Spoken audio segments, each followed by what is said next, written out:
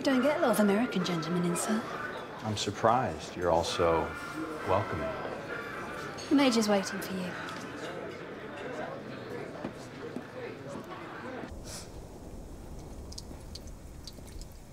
Mr. Ghost. Haven't you got the wrong room? No. Have you?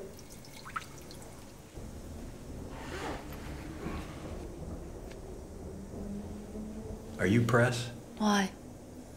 You're in the Major a closet item. no, we aren't anything at all. It's a diplomatic meeting. Oh. Are you secret polizei or something? No secrets. For the record, I meet all kinds of politicians in all kinds of countries. I help inefficient governments like yours make the right choices, do the right thing, usually against their worst instincts.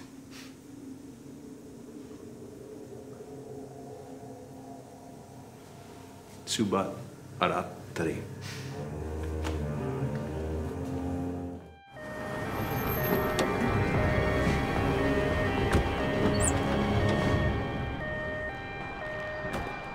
We're Breach. We're here to see Michael Gorse. The rich history. Hmm.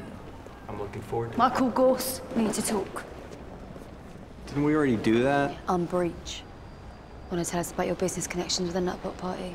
It's a freak show worse than the Congo. You think anyone outside these shanty towns actually cares about any of this? Plane to catch. I'm Inspector Theodore Borlu. You tell Bowden I can help him. Orlu. Yeah. You know what David's problem is? His head is always ruled by his dick. And the rumor is he had one of yours, Inspector. You just tell me where he is. You better get back to the shtetl, Inspector. The tide's coming in. Sir, we gotta go. You will stay where you are. All air traffic is grounded. There is no passage out of the cities. Five years from now, there won't be a Besźel or an Okoma. This will be just another U.S. mining colony, a boomtown. And that will be your revolution. And all your border controls and your quaint moralities and your laws, all gone.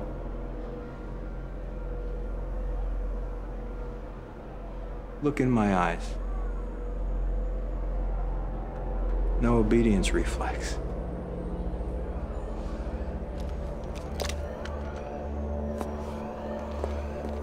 You know where he is. I can help him. Why should I care? Because you're his friend. You go way back, don't you?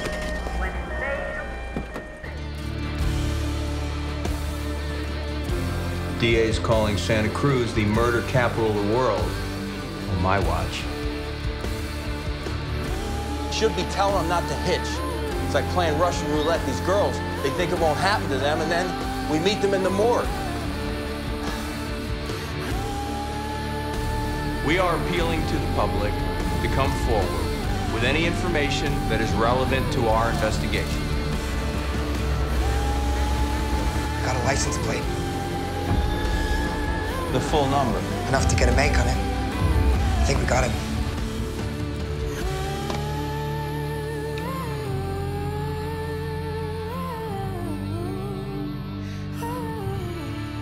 UC Santa Cruz is starting a free bus program. Publicize that to your readers.